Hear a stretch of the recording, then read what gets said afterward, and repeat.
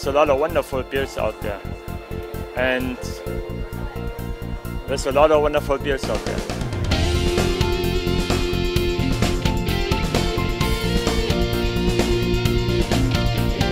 What I am excited for is just to see everybody again. Not so much about the competition. I just want to, uh, you know, spend a lot of time talking with friends I haven't seen in a while. I love uh, not just competing with other bearded men, but uh, the friendship I make along the way. I've got friends around the world and around the country from competing.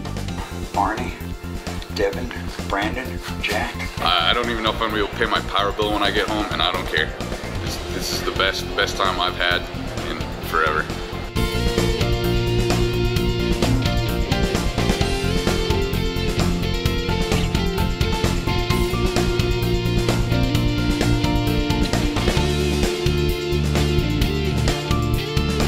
Win or lose today, I'm going home a winner because last night at the Amish dinner, I'm standing there all starstruck in, in front of Mr. Hartwig from the um, Pittsburgh Steelers, wanting to get a picture with him.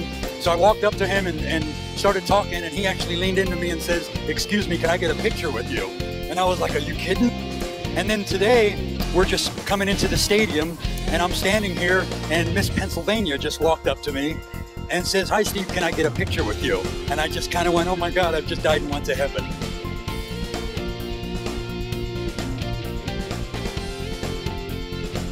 So I've said this many times. Every every time there's a beard competition, you get more and more guys, and the guys who are in it get better and better and better.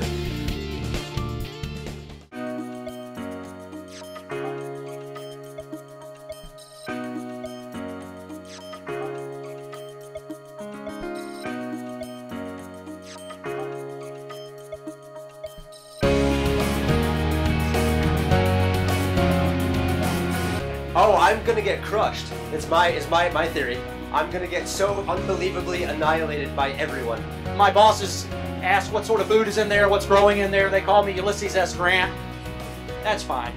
They're just not as manly as me, and I think they're a little jealous.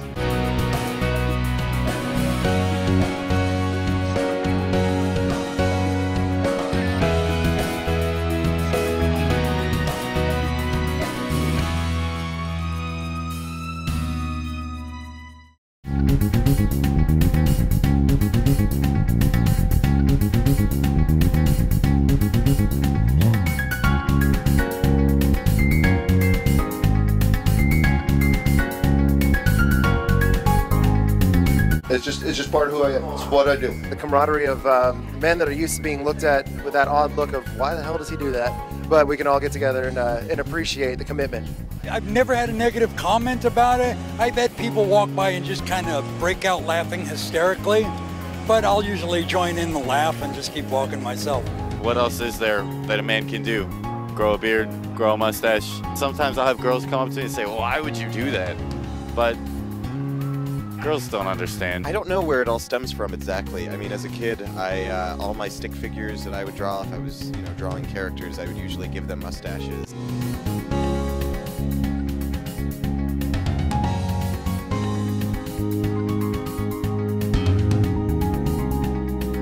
I just I, I I just like the, the fact of you know like bearded men uniting. In fact, uh, celebrating the beard. It's something that you don't see too much in our culture anymore, unfortunately. And it's glad that there's a resurgence of it. I shaved it off once uh, after having it on for 10 years. I never told her I was shaving it off, and she said, when she first saw me, she burst out in tears and said, There's the man I married.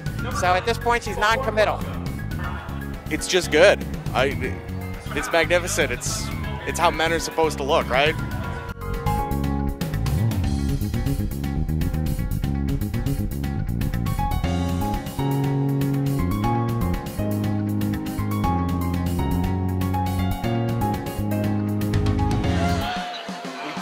Love beards. Um, there is a bunch of grizzled men with large beards, probably drinking beer in a little bit.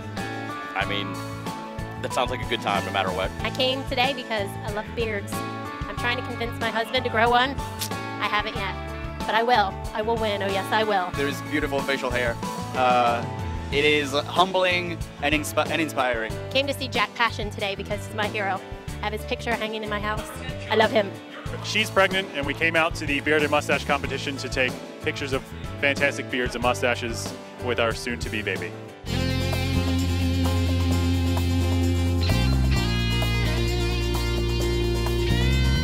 I've been growing uh, a mustache for uh, two years or so, and it almost has no practicality, so I'd like to put it to some use.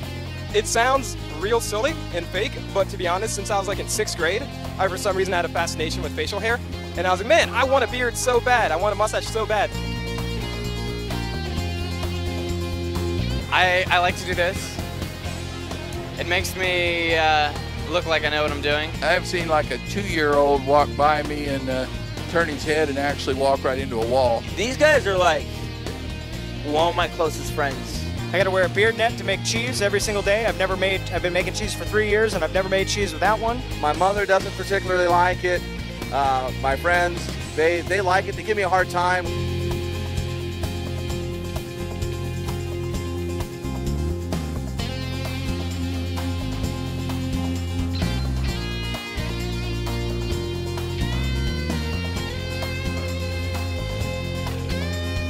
Whether I'm here at home or on the streets or what I'm doing, people people either smiling or waving or coming up saying that's a great beard. It's just great. It's fun. Just being here and all and hanging out with everybody, having a good time is winning all together. Not making it to the finals, not winning the competition is something I can do all the time. But hanging out with all these great folks, that's a once in a lifetime experience.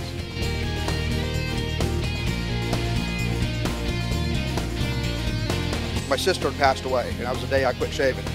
And I've always had a mustache, but the beard, I sort of just did a personal note there, and it just kept going, and I said, I'm just going to keep it.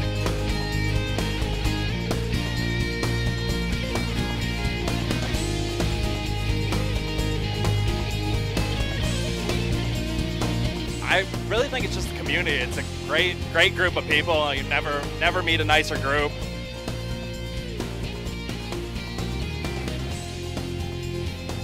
I just decided one day to do it. So when my first kid was born, I let it grow.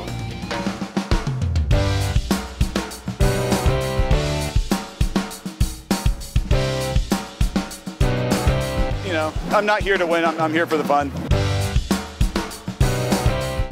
Decided to let it go and just see what happens.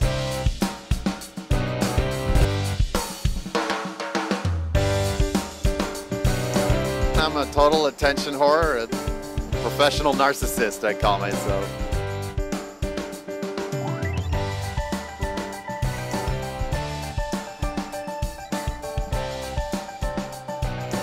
Uh, I get a lot of uh, positive comments, a lot of high fives when I go downtown. Um, every once in a while, you get that negative comment, the heckler, but I assume that's pretty much from a hater that really can't do what I'm doing. I thought it went fantastic. Um, the most important thing for me was that there was a huge group of people here who had a great time.